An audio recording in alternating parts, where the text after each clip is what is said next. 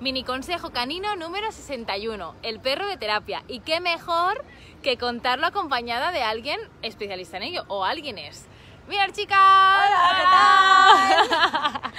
Pues nada, tenemos aquí a Mireia, a, Andrea y Sandra. Y bueno, y los perritos que os tenéis que conocer. Bamba, Black, Bambú y Dana. Y nada, este vídeo eh, quería un poquito que ellas explicaran qué es un perro de terapia y me encanta cómo lo hacen ellas y quería un poco que también que explicaran cuál es esa manera. Primero, aquí ponelo, sabes que esto es complicado, ¿eh? Venga, ¿qué, qué- primero, ¿qué es un perro de terapia? ¿O qué es la terapia asistida con perros? Vale, bueno, la terapia asistida con perros es una terapia complementaria en donde nos marcamos objetivos terapéuticos. Nosotras como psicólogas eh, nos marcamos los mismos objetivos que cualquier psicólogo tradicional. Lo único es que incorporamos un perro en la sesión.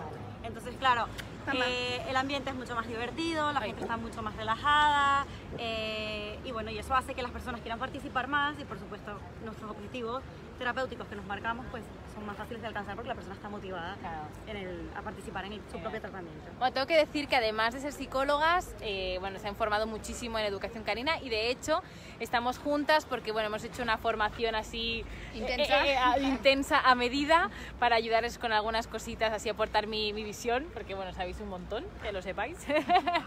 y luego deciros, quería preguntaros, todo el mundo ¿no? os debe preguntar que si con su perro puede hacer terapia, como, ¿cuál sería el, los requisitos, dijéramos, para introducirse en la terapia con- asistida con perros?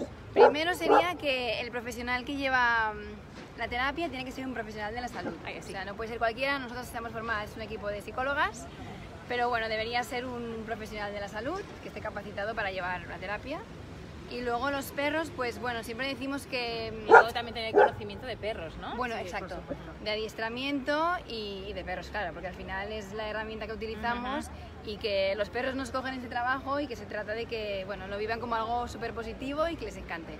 Bueno, me había dicho la palabra herramienta, pero tengo que deciros que para ellas eh, sus perros son su familia y, y los tratan como tal. Bueno, me- es lo teórico que- Sí, sí, sí, lo de, de- sí, lo de los libros, ¿no? Sí. Pero me encanta porque, bueno, muchas, mm, conozco mucha gente que hace terapia con, con perros y al final, pues eso, ¿no? El perro es un poco lo mecánico, el que hace ejercicios y tal. Y lo que me encanta de ellas es que no solo miran que realmente pues hagan los, los ejercicios para llegar a ese objetivo que contaba eh, Mireille, ay, Andrea, que tiene un lío de nombres, que soy fatal, lo siento, es que soy yo, eh, que soy malísima.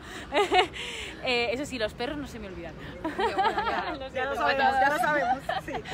eh, pues lo que, lo que me encanta de ellas es que el- pues no quieren, eh, miran mucho que los perros no estén cansados, que se diviertan, que formen parte del equipo, que no sean solo los que hacen los ejercicios, sino que mucho más.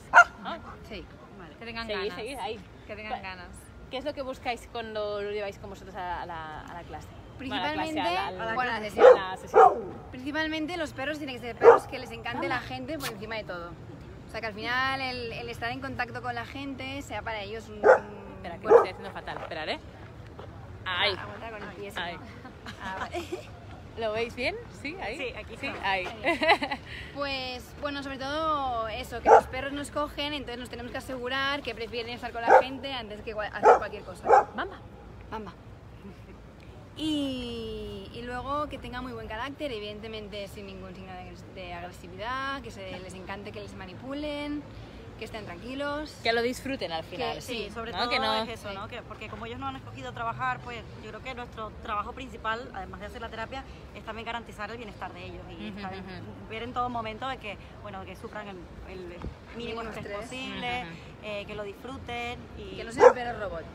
Exactamente. Ahí está. El perro robot, no. Eh, Al final, lo importante de esta terapia es que el perro es un apoyo para nosotras, no es la... Bueno, eh, la terapia no, no se basa No en el perro, no recae en el perro, sino que es un apoyo que nos facilita el trabajo a nosotras y que ayuda a que, bueno, pues los niños o los abuelos quieran venir a las sesiones. En realidad el Vale. trabajo duro lo hacemos nosotras y ellos, bueno, están allí, nos acompañan, que, bueno, es un sueño cumplido, al menos por nuestra parte. Sí, genial. Y bueno, se trata de eso, de que disfruten sobre todo. Genial. Pues nada, chicos, eh, ya las conocéis, ahora seguirlas, que se van a animar también a hacer vídeos y cosas, ¿a que sí? Sí, ¿Eh? bueno. Yo voy engañando a todo el mundo. Y, y nada, eh, seguimos aquí con lo nuestro. Muchísimas gracias por participar en este mini consejo canino. No, creo que es la primera, creo que es la primera vez que hacemos un mini consejo así Sí. con invitados. Qué Ah, mira, seguro. Pues nada, muchas gracias también a los que estáis al otro lado. Y nada, nos vemos prontito. Aquí. Gracias. Hasta luego. Adiós.